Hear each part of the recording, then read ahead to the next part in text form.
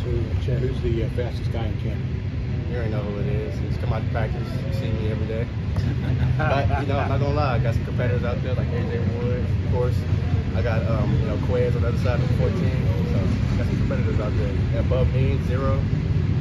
J Pat talked about on Sunday how you caught it like a short pass and you took it to the distance. I mean, can you take us through that play and is that kind of just the type of game you'll bring to this offense this I week? mean, yeah, 100%. You know, just get the ball in my hands.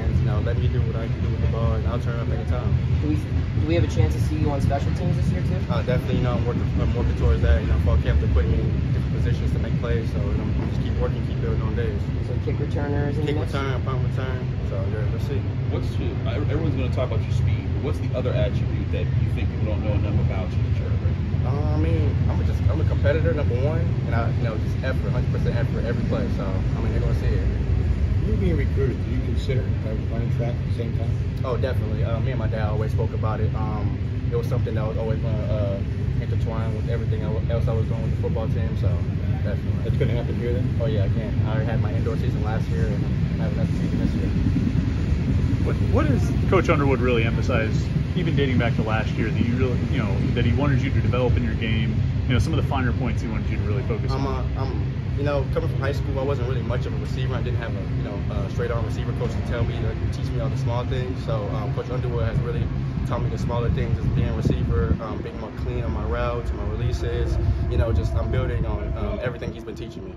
How excited were you for this camp to arrive? I mean, coming in last year, you're a young guy. There were some spots open, but probably not for a true freshman. But this year, I mean, things are wide open at your position. And Right. How excited were you to arrive here and try to prove yourself? I mean, when I first got here, I was just ready to work, ready to uh, soak in everything the coaches was telling me.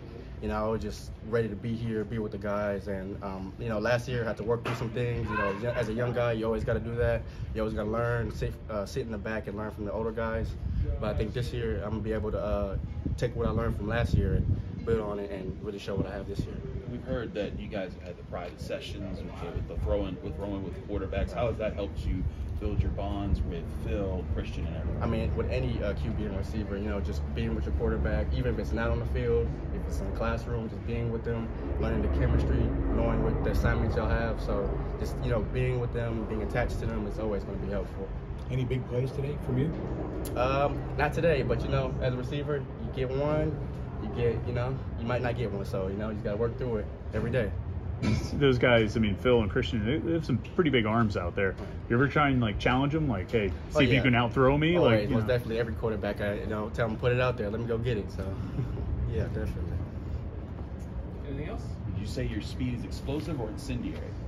Um, incendiary. You got to put the fire extinguisher on my feet. There you go. All right. What's your best 40 time? Uh, I just ran a 4.30 uh, during uh, uh, winter workouts. Four three flat. Oh, summer. So, yeah, 4.3 flat. Summer workouts. Yep, over here. Like Thank you. Thank you.